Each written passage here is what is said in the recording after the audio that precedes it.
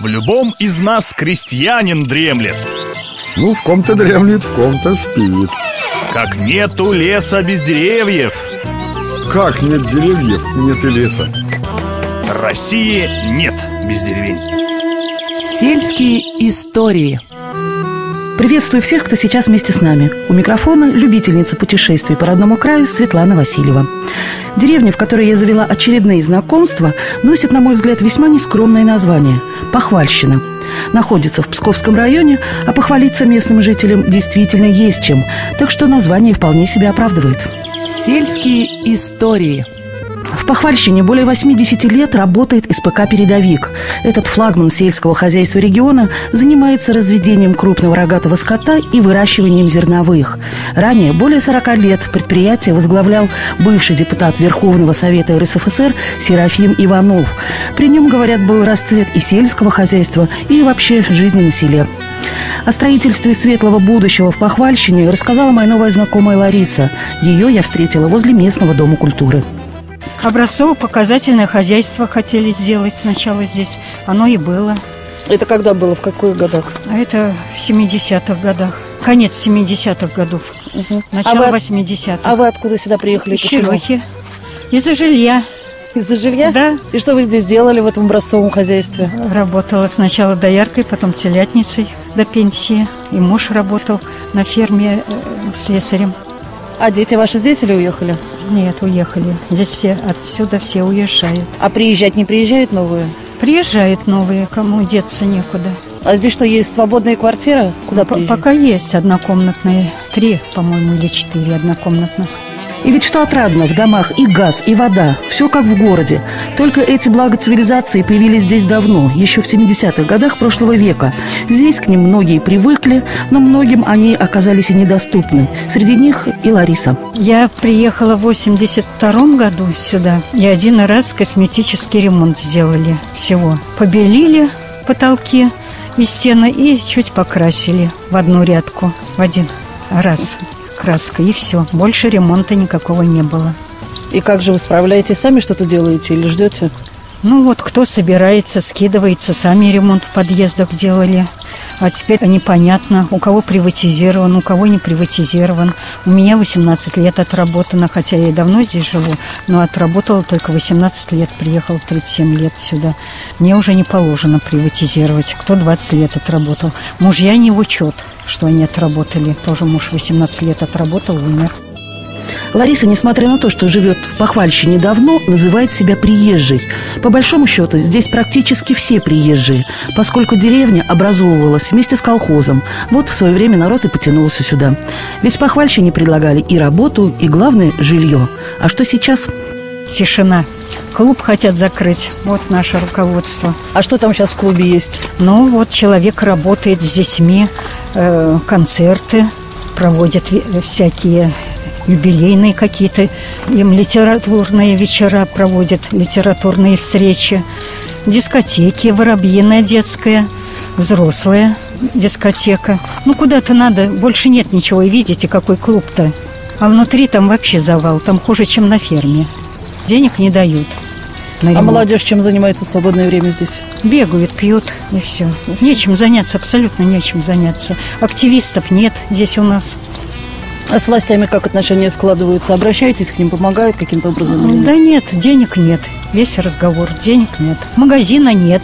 Это ларек частный, ни ценников, ничего. Весы э, закрытые фрукты наложены по самое некуда. Мы не видим, сколько нам взвесили, э, какой вес. Обманывают ужасно. Частный ларек. Магазин закрыли зачем-то и разобрали все. Садика нет, школы нет. Так что рядом с городом живем, а как будто в глуши. Ничего нет.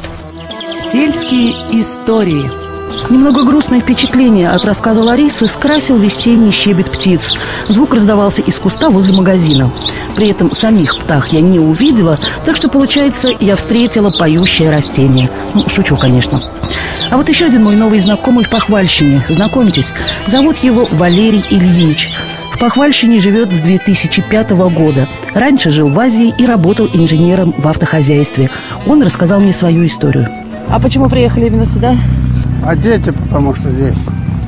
А то бы я остался в своей Средней Азии. Там тепло, А как здесь не холодно, не мерзнете? Ну, уже привык. А дети чем здесь занимаются? Работает. Я сын это сейчас работает в Питере. Не в самом Питере, там за в районе работает. Дочка тоже жила в Питере. Сейчас уехала со своей дочкой в Америку, потому что она учиться уехала. А вы с кем здесь остались? Один. Хозяйка была, умерла. И чем занимаетесь? Чем? Огородом. Плохо, что местные люди не очень-то -то стараются что-то выращивать.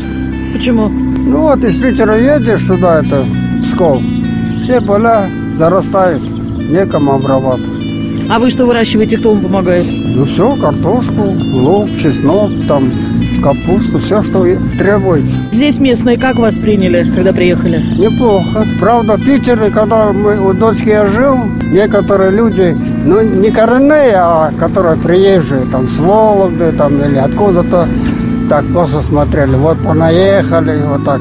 А, а вот здесь, допустим, хорошо, в деревне. А друг с другом общаетесь, помогаете друг другу или каждый сам по себе еще живет? Вы кого имеете в виду? Ну, соседей, там, друзей завели здесь, нет? Помогаем друг другу, да. Соседи у меня хорошие.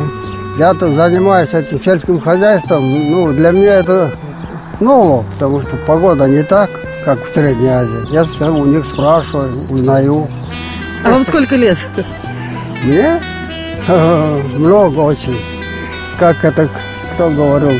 Два по сорок, еще плюс пять. И откуда силы берете, чтобы в вашем возрасте еще и сельским хозяйством заниматься? То Силы откуда берете, чтобы сельским А, хозяйством заниматься? Силу дают мне внуки. У меня их, вот у сына четверо сыновей, два правнука есть. Какой вы вот. богатый. Вот, я богатый, да. Вот они мне дают силу. Сельские истории. После знакомства с такими людьми, как Валерий Ильич, хочется буквально горы свернуть и все-таки верить в светлое будущее. Если вам, наши дорогие радиослушатели, есть что рассказать, звоните мне по телефону 62 92 90, обязательно пообщаемся. А ваши сельские истории, как всегда, станут частью истории нашего родного края и, конечно, нашей программы. А прямо сейчас по традиции звучит песня. Сегодня она для жителей деревни Похвальщина Псковского района. А я прощаюсь, через неделю расскажу еще одну сельскую историю.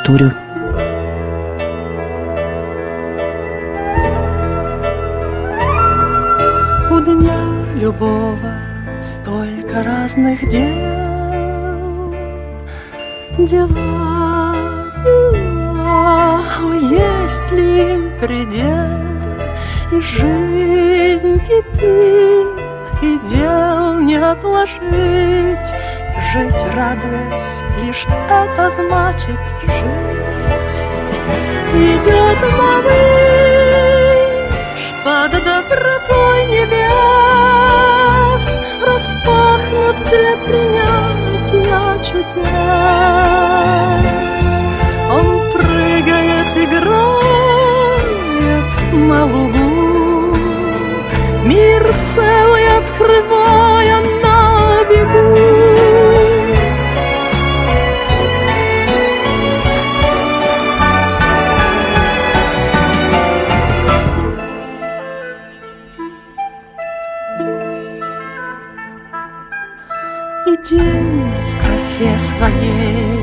своей неповторим, Раскрыт в улыбках, в красках перед ним, Ликующей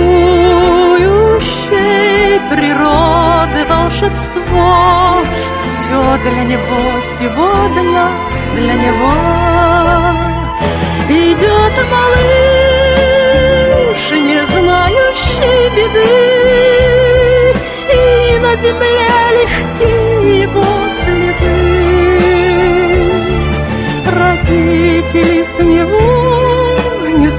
сводят глаз, в Счастливый день и час.